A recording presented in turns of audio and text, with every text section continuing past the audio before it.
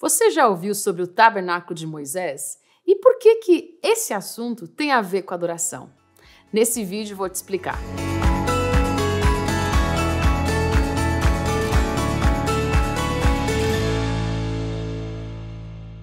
No nosso Instagram, nós fizemos um post sobre o tabernáculo de Moisés. Mal sabia que haveria tantos saves.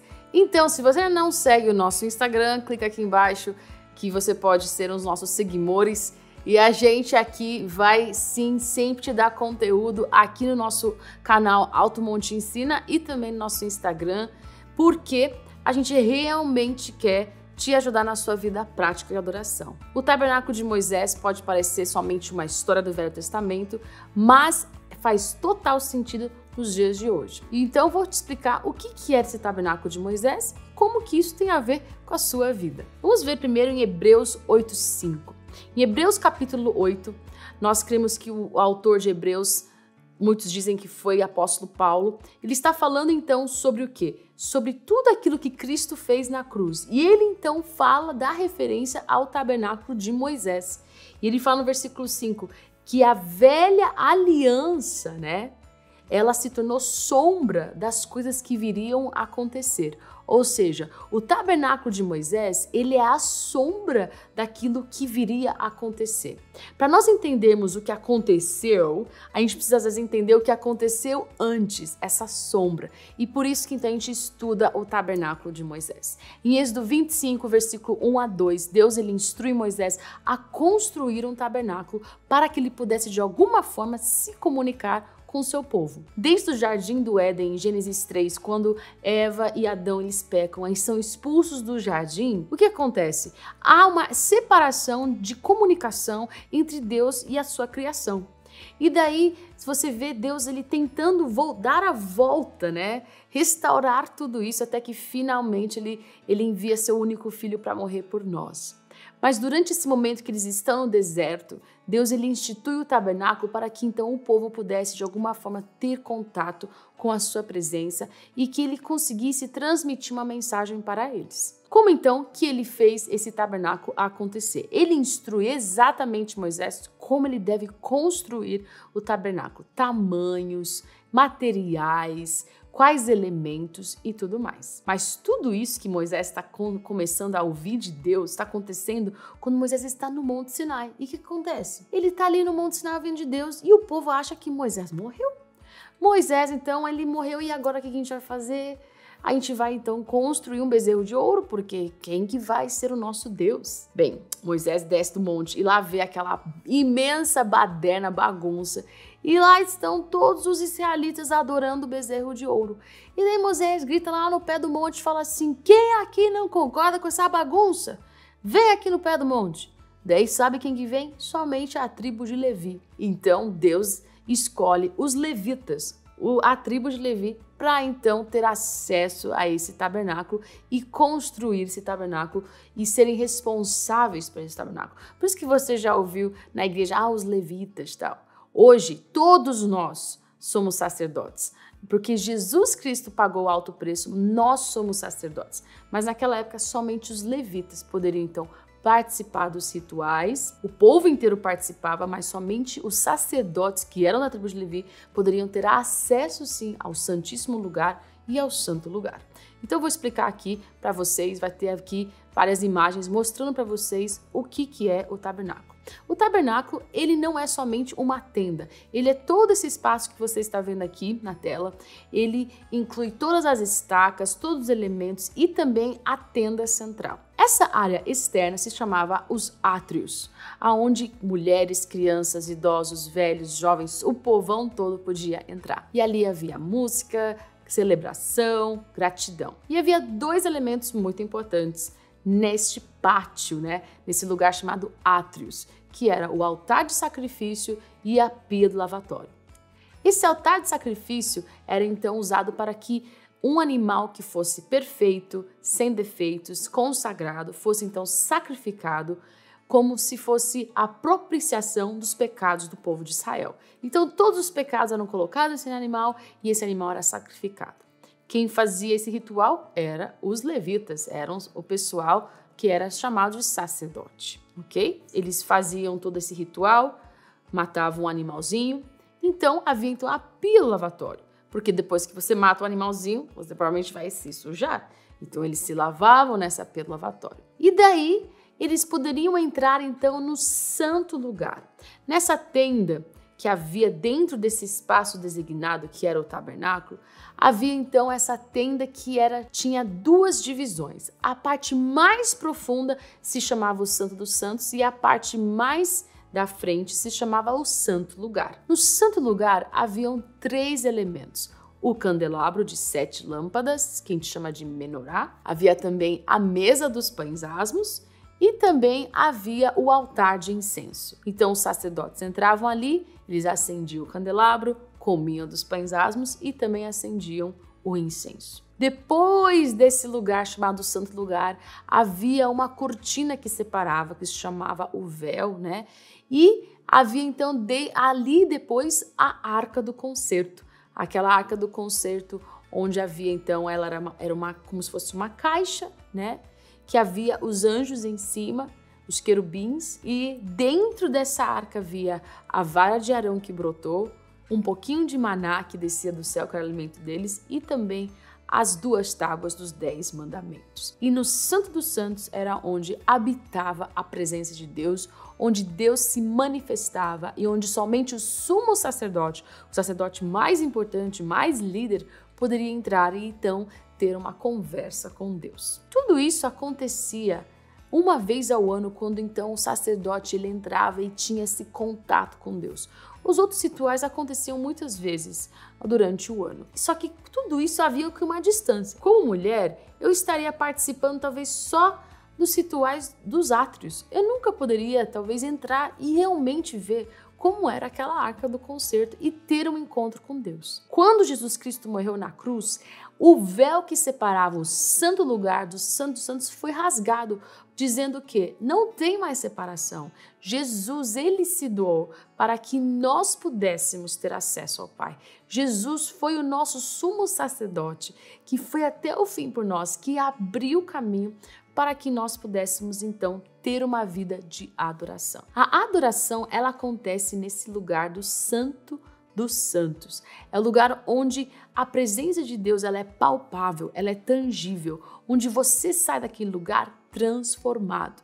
Mas muitos de nós vivemos nos átrios sem perceber. Ou a gente nem está nos átrios, a gente está fora do tabernáculo e nem sabe.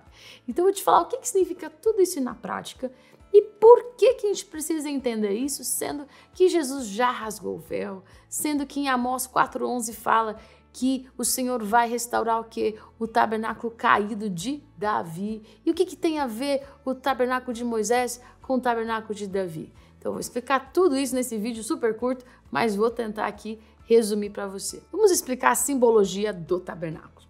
A entrada se chamava o portão, tá? O portão, ele tinha todas as cores que representavam Jesus.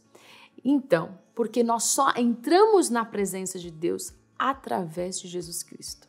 Ao deparar depois que você entrava pelo portão, era um altar de sacrifício, que representa a morte do nosso ego, representa o nosso nossa entrega, a entrega da nossa vergonha, da nossa frustração, a morte do nosso pecado, do nosso orgulho, talvez a falta de perdão, tudo isso precisa ser colocado no altar porque ali precisa vir o fogo do Espírito Santo para queimar tudo isso. Porque se a gente não consegue se entregar completamente, entregar toda a nossa carnalidade, nós não vamos conseguir então acessar lugares mais profundos em Deus. Depois que nós então entregamos tudo, colocamos tudo no altar, o fogo do Espírito Santo vem sobre nós, estamos prontos então para ir para a pia do lavatório e ser refrigerado, ser lavado, renovado através das águas do Senhor. As águas do Senhor na Bíblia representam muitas coisas, representam cura, restauração, renovação, todas vindas pelo Espírito Santo. Existem muitas analogias da água de Deus que escorre do trono de Deus, que traz cura, que traz alegria. Também entendemos que a purificação não é só quando nós estamos em pecado, mas também quando estamos cansados, quebrantados, é, entristecidos. Essa água do Senhor vem para nos renovar. Então, depois que nós agradecemos porque a gente atravessou por causa de Jesus Cristo, que ele é o caminho, né? Nós nos deparamos com um altar de sacrifício, onde nós entregamos o nosso ego, a nossa carnalidade, para que então nós possamos ser purificados, renovados e restaurados. E depois nós entramos então no santo lugar, onde nós podemos ser renovados no nosso fogo do Espírito Santo, onde o candelabro é aceso, que representa as sete igrejas, que representa o fogo do Espírito Santo, que representa a iluminação, tudo isso na nossa vida. Podemos também comer do pão, do pão asmo, que é um pão sem fermento, que é um pão da intimidade, onde eu sento à mesa com Cristo e nós trocamos olhares e nós então comemos desse pão, que também Jesus diz que ele é o pão da vida, que nos satisfaz.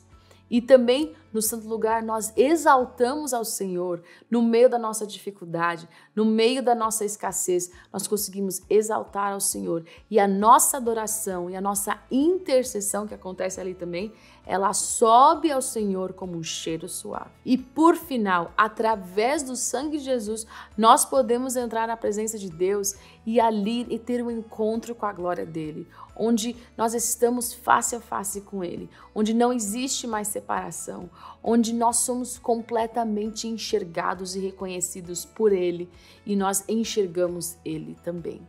Esse lugar do Santo Santos é infinito então não é porque você chegou nesse lugar dos Santos Santos que você vai, então acabou. Não, é o começo do, de uma dimensão celestial onde você pode adorar o Senhor por, por, séculos e séculos, assim como os anjos fazem até hoje. Então, por que, que a gente precisa saber isso? Porque muitos de nós, nós não sabemos chegar à presença de Deus.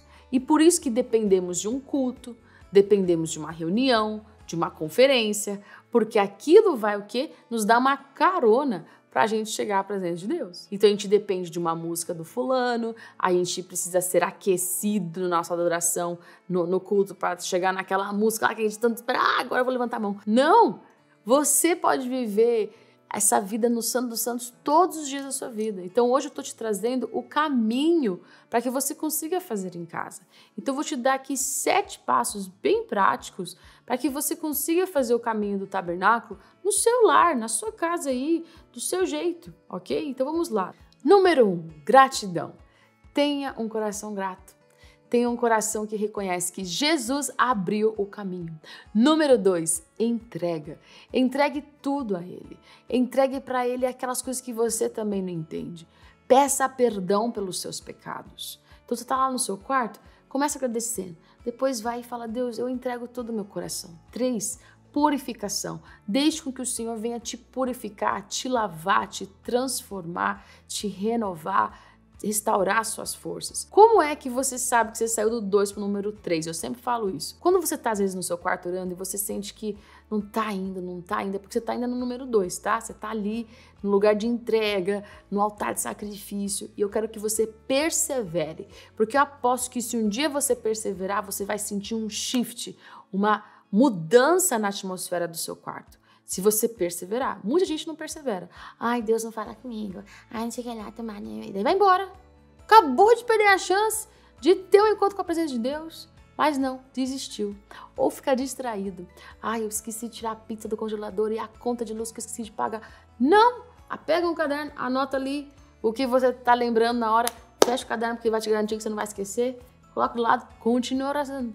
Continua orando continua se entregando e falando, Espírito Santo, eu quero ter um encontro contigo, eu não quero viver nos átrios somente, eu quero estar no Santo dos Santos. Depois, então, que você sente que houve assim um romper no seu coração, você sente assim, a paz de Deus entrou no seu quarto, a presença de Deus está ali com você, daí você foi pro 3, nem foi pro 7 ainda, tá? Pro 3, ok? Pra você ver como Deus é infinito.